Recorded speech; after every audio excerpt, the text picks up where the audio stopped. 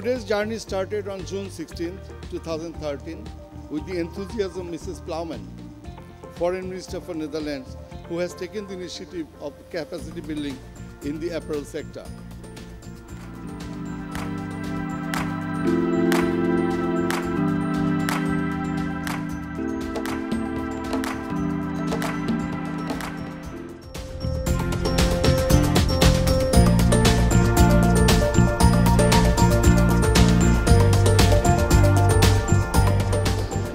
Make sure that working conditions are decent and safe.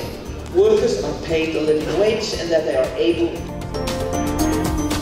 And the industry uh, and the government, uh, for the first time in the history of Bangladesh a couple of years ago, set a new target to achieve $50 billion by 2021.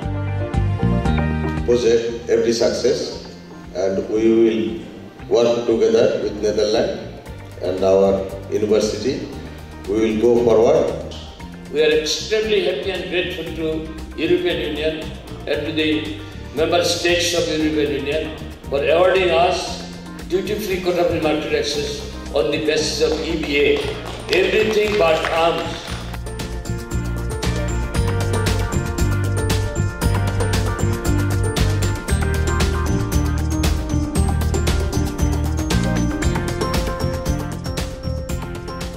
Worker satisfaction, as I mentioned to you before, systems of job rotation, product development. How do we make our product specification? Without innovation, no nation can be successful in the long run. And at the same time, you do know if you neglect those issues, it can easily result in a negative spiral.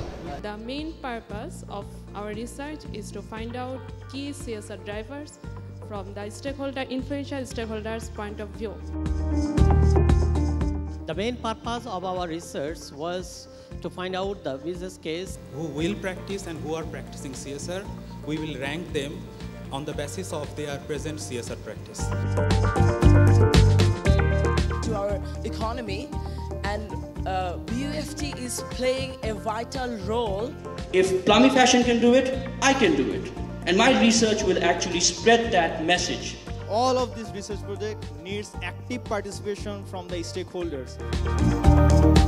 We see CSR just as another word for innovation, for inclusive and sustainable innovation. The goal is to improve working conditions and to drive competitiveness in the industry. So it is very important for us in the Better Work program. We did it in close discussion with society, with uh, organization. So when company became profit driven, eventually they landed on the greed driven. I think the CSR system definitely will be implemented and will definitely will support it. We at the time we researched on what is the contribution of the ready-made garment sector in the economy. Now is the time to realize we should actually have an all-out effort.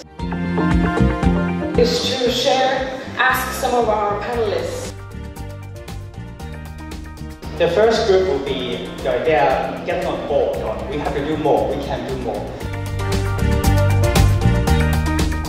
During the course, if they go and see it practical, they have a lot of questions to ask their teachers.